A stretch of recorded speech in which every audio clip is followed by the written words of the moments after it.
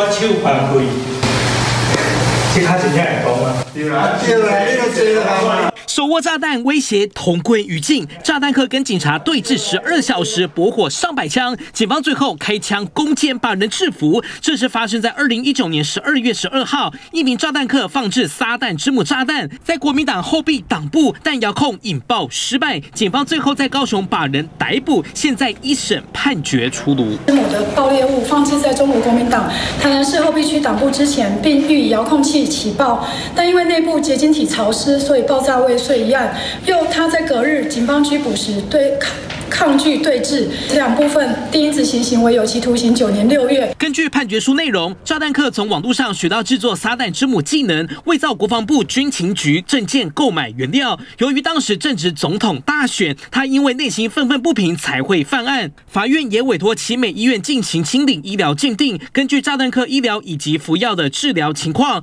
认为他犯案时只是辨识能力显著降低。并非完全无法辨识，一审重判九年半有期徒刑。考量他有精神障碍，自其辨识能力有减显著减损，但没有达到不能控制其行为之程度。尽管炸弹客辩称只是制作新式烟火或鞭炮，不是炸弹，也罹患了精神疾病，但由于他犯案施证明确，一审重判九年半，还可以上诉，不让精神疾病成为脱罪理由。记者类观众王书红台南报道。蔡政府关中天，言论自由已死。新闻自由已死，请立刻订阅、按赞、分享、开启小铃铛，中天电视 YouTube 频道。